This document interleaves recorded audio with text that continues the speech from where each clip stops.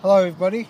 As you can see here our mirror is cracked and there's scratch marks all over the top of the mirror housing, all over the glass and all over the door. That's due to birds and crows coming along and pecking at it. I've come up with a simple solution as to stopping the birds and crows from doing this damage.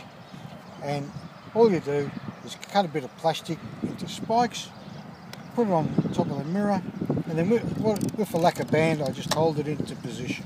And that stops them from landing and then pecking away. As you can see on the other mirror,